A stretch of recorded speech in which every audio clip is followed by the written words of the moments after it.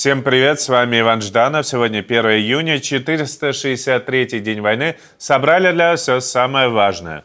В Белгородской области снова идет бой. У Путина есть собственное царское село. В Калуге взорвался мощный дрон, а в Москве ремонтируют бомбоубежище. Начнем с обзора военных действий. На фронте продолжаются локальные столкновения. Украинская армия отбивает небольшие российские атаки в Маринке на Купинском направлении, а также в районе Бахмута.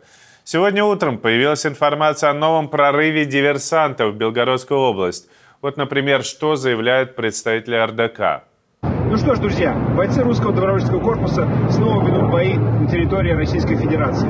Совсем скоро покажется окраина Щебекина. К сожалению, мы не можем обеспечить эвакуацию мирных жителей из э, приграничных районов, потому что армия Российской Федерации обстреливает эти районы и таким образом затрудняет эвакуацию. Находитесь в домах, не волнуйтесь, бойцы русского добровольческого корпуса не воюют с мирными жителями. При этом губернатор Белгородской области Гладков прорыв отрицает.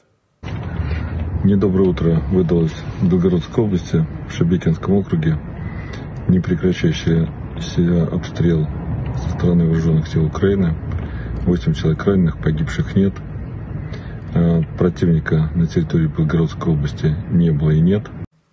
Кадров с погранпункта пока нет, но по неподтвержденным данным в районе пограничного пункта Шебекина на дороге в город Шебекина, который последнее время регулярно обстреливается, как раз идут бои. Шли обстрелы и сегодня писали об атаке из РСЗО «Град». Канал РДК пишет, что градами было атаковано здание МВД, где собирались силовики. Пока надежной информации о происходящем в Белгородской области очень мало, мы будем держать вас в курсе, еще вернемся к Белгороду в этом выпуске. Этой ночью вновь был атакован Киев. По данным украинских властей, удар наносили ракетами «Искандер» из Брянской области. Погибли трое, пострадали 16 человек. Погибшие были убиты обломками ракет, не успев спрятаться в убежище. Оно было просто закрыто. И сейчас киевские власти проводят расследование. Тем временем наступило 1 июня, а это день, когда ЧВК «Вагнер» собирались полностью уйти из Бахмута. Пригожин заявляет, что вывод ведется и срок его окончания 5 июня. Что, с Бахмута? Да. Сколько человек вышло у вас? Привет, человек осталось. Сколько из ваших там осталось? Человек. Человек ну, еще 12. Ага. Ну ясно. То есть мы сегодня основная часть выйдет, да? А остальные до 5 числа, как и предполагали. Да? Все еще неизвестно, насколько это правда, все ли вагнеровцы ушли из города, а главное, какие российские части их заменили. А в Калужской области, возле поселка Товарково, упал летательный объект. Скорее всего, сбитый беспилотник самолетного типа. Но официально это еще не подтверждено. Судя по воронке, заряд был серьезный. Какая красота! 47 Пока ты смотришь футбол, твоих друзей забирают на войну. Пока ты смотришь футбол, твои соседи пишут на тебя донос. Пока ты смотришь футбол, Кремль атакует дроны. Хочешь смотреть футбол или узнавать самое важное? Каждое воскресенье в 17.00 только самое важное –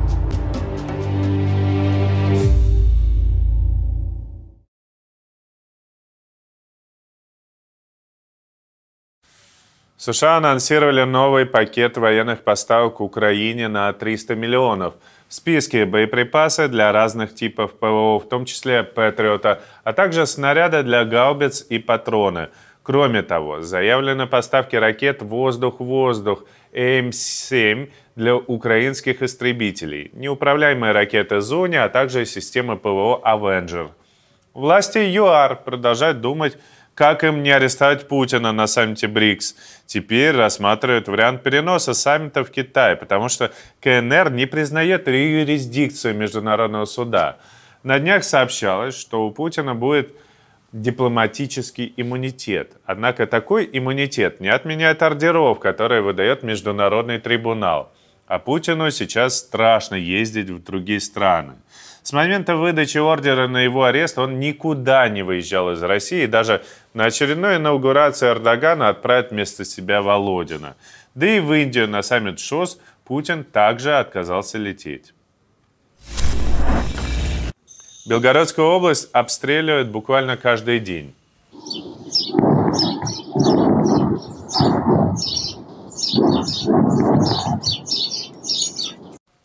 Сильнее всего атакуют Шебекино. В городе постоянный запах гари от регулярных взрывов. Губер Гладков заявил, что только сегодня пострадали 8 человек. Местные власти продолжают эвакуацию. 140 человек уже прибыли во временный пункт приема в Белгороде. 35 из них – это дети. Прилет, и дым пошел. Вот.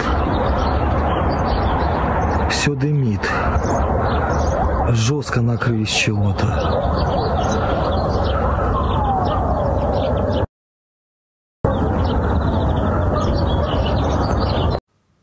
Вот на следующем видео будет здание, которое горит, и, судя по всему, оно загорелось после обстрела. Тут горит крыша. А, видео опубликовал один из местных пабликов здания возле администрации. По сообщениям жителей, в городе почти никого не осталось, он закрыт для въезда. Многие не могут выехать, транспорта не хватает. Жители просят помощи в комментариях, обращаясь к губернатору. Говорят, что по указанным для обращения номерам телефонов – никто не отвечает. Гладков сказал, что под обстрелами эвакуировать людей опасно, поэтому надо переждать. Видимо, по мнению губернатора, оставаться под обстрелами безопаснее, чем уехать. Жители Белгородской области требуют защитить и убрать с границ срочников также. Ведь боевые действия на границе происходят не первый раз, и вот-вот им придется сражаться. Хотя Путин обещал, что срочники участвовать в боевых действиях не будут. В Москве подготавливают бомбоубежища, расчищают подвалы, размещают инструкции к действию и сбору тревожных чемоданчиков. Если кто-то верил, что война его не коснется, то вот она уже пришла и в Москву. А следующая новость в очередной раз демонстрирует императорские замашки Путина, его попытки подражать российским правителям прошлого. На этот раз речь про настоящее царское село – для путинской родни вокруг резиденции в Новоогарево. Рядом с Путиным ожидаемо живут его дочери Мария Воронцова, Екатерина Тихонова, а также бывшая жена Людмила Очеретная. Почему Путин расселил всех вокруг усадьбы Новоогарева? Тут все просто. Он эту усадьбу закрепил за собой до конца жизни – Земли вокруг усадьбы покупали через заграничные офшоры, а после передавали дочерям Путина. На девушек, конечно же, ничего не записывали. Участки для Марии приобретала кипрская компания «Эрмира», которую часто называют кошельком Путина. У него много таких. А территория Екатерины записана на ее мужа Шамалова. Рядом с ней живет, ну, бывшего уже мужа, рядом с ней живет и ее мать Людмила вместе со своим новым мужем Артуром Очеретным. Их владение тоже записано все на того же Шамалова.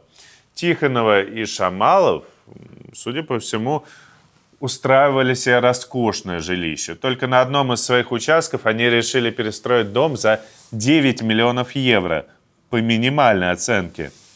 И вот что там есть. Предметы для уличного шатра за 53 тысячи. Столовая люстра 72 тысячи евро, ну, как стоимость квартиры в Подмосковье. Ну и барная стойка из перламутра и мрамора за 120 тысяч евро. Ну а что, не своими же деньгами платят, вашими. Кстати, некоторые источники утверждают, что именно в это царское село могли целиться беспилотники во время атаки на Москву, потому что Путин в этот момент находился как раз в Новоогарево.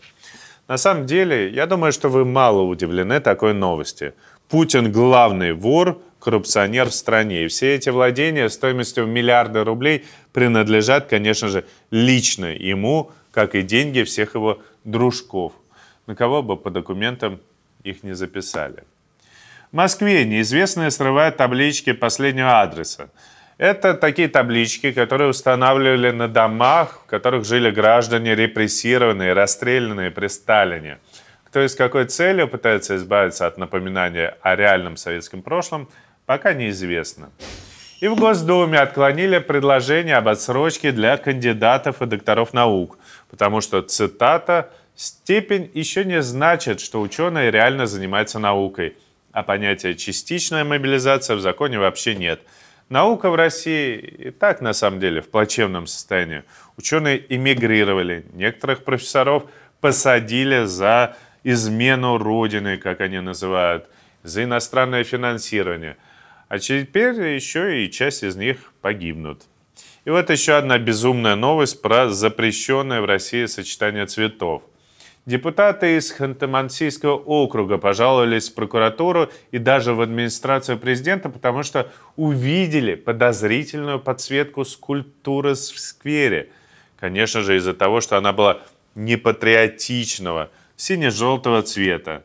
А знаете, почему это не очень удивило? Потому что монтаж скульптуры производили специалисты из Англии. Все вполне логично. Такие новости сегодня. Обязательно ставьте лайк, напишите комментарий для того, чтобы, как обычно, продвинуть этот выпуск новостей. Спасибо, что смотрите. И отдельное спасибо всем тем, кто поддерживает нашу программу на Патреоне популярной политики. Ники этих замечательных людей вы всегда увидите на экране. Увидимся. thank you